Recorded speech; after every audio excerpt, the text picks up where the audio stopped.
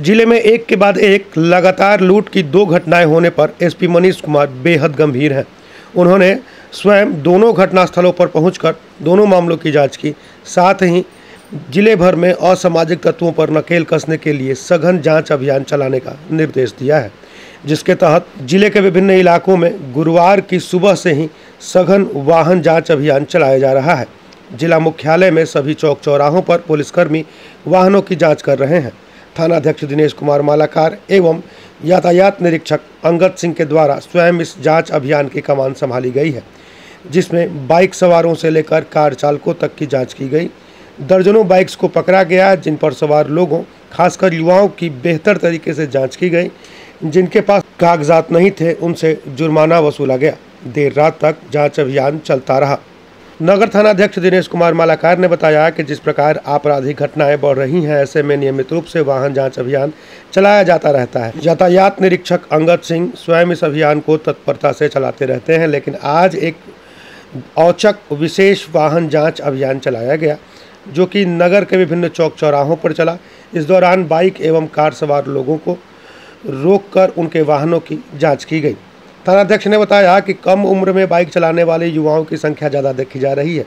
कई तो ऐसे हैं जो अपनी 18 वर्ष की उम्र भी नहीं पूरी कर पाए और वाहन चला रहे हैं। कई बाइक सवार बिना हेलमेट के भी घूम रहे हैं और कई एक बाइक पर तीन से चार लोगों को लेकर घूम रहे हैं। ऐसे में सभी लोगों को पकड़ा जाएगा और जो युवा माता पिता से बाइक लेकर मटर गश्ती करने निकलते हैं, उनकी बाइक को जब्त कर उनके माता पिता से भी जुर्माना वसूला जाएगा। जाँच की यह कार्रवाई नियमित रूप से चलती रहेगी और आगे भी जारी रहेगी। किसी सूरत में असामाजिक तत्वों को बख्शा नहीं जाएगा।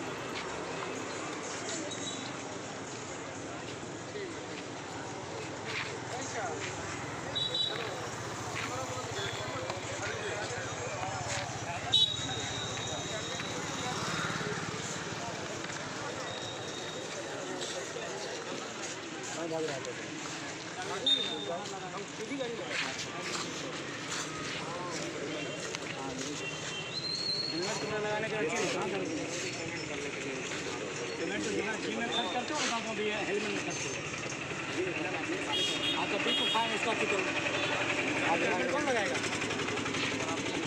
ये कहाँ करूँगा जब किधर तुम जा रहे हो गाड़ी गाड़ी किस तरह हाँ कागज़ कहाँ है? इधर कहाँ जा रहा था? हाँ? इसका फाइन कार्ड थी करके तब अति कीजिएगा। फाइन कटाई गाड़ी चेक कीजिए सब कुछ। और पेपर लेके आइए आप। अपनी गाड़ी